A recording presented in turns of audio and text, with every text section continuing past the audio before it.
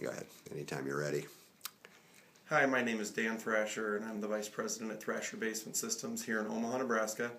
We've been a national radon defense dealer for um, almost three years now, and it's been a great add on business for us.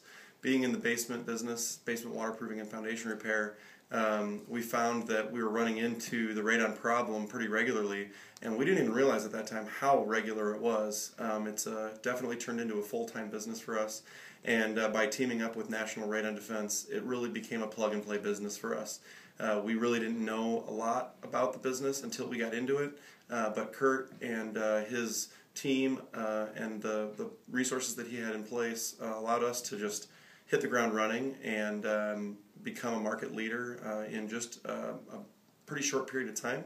And uh, we're now keeping a couple crews busy full time, and uh, it has been a great add on to our business.